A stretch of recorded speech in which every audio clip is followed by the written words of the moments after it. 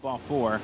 The Red Sox can build on that, or maybe not. Taylor made double play ball. Wade to Torres. Back to Ford, who gets the start at first to clean him up. Two gone. And the Red Sox, over 120 years. Got base hit for Urshela. Given that same opportunity last year. Tauchman with a jam shot out to shallow center field. It'll drop in. Ball and a strike to Ford. That one sent out to shallow right center field. It drops in. It's going to bring in Urshela to score the game's first run. 1 nothing Yankees.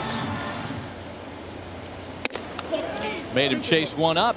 And it all comes to life at the Negro Leagues Baseball Museum, historic 18th and Vine in Kansas City, Missouri. Oh, takes a wicked hop over Chavis. And I beg forgiveness from all of New England for using Massachusetts nomenclature there, but that was a wicked hop. There on that one swing, it hits the bag.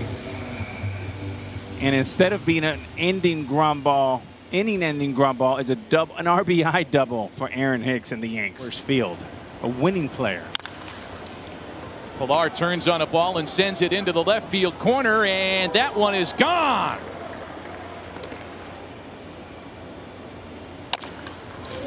Jam shot. It's going to be a tough play for Mazza.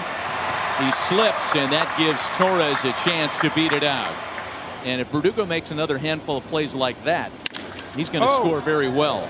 And it looks like the Yankees are going to score a couple of runs here. Mazza tried to challenge Mike Ford with a fastball up around the shoulders, and it gets deposited into right center field. This time is the driver both on fastballs. Great swing, leans back. And Mike Ford with a little bit of a Babe Ruth look I to was him. thinking the same thing. Big dude. They'll go back home and host the Phillies in a two-game series that starts on Tuesday. And Happ strikes out Bogaerts. Hicks flying over Balboa Park in San Diego. Yes, the Padres are going to be on Sunday night. Mm. Sharply hit to third, and the Yankees will go around the horn to double off Vazquez and end the inning. There's another fastball.